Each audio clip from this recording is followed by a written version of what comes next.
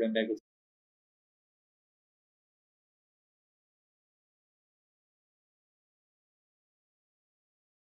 Till then, take care. Bye bye, and see you guys in the next video.